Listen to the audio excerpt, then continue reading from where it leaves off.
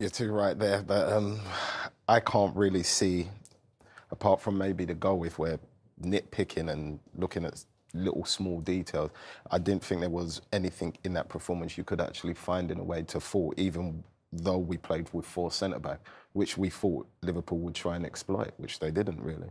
No.